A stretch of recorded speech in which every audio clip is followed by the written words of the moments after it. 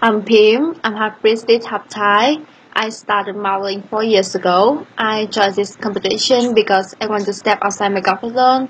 I want to push myself more. I am also a karate black belt, so don't mess with me. Hi, my name is Beauty. I'm 22 years old and I'm from Myanmar. I started modeling. It's been five months. I know that is a lot of expectation, but I want to win this. Hi, my name is Adela Mamaso. I'm British Filipino.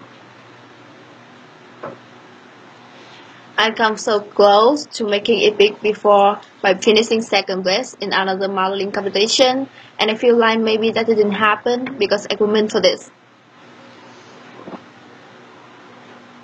I'm Jessie. I'm 26 years old and I come from Indonesia, so I've been in the modeling world for 13 years. Half of my life. I really, really, really want to be the winner of the Asia Next Top Model. I'm super ready. I see Cindy.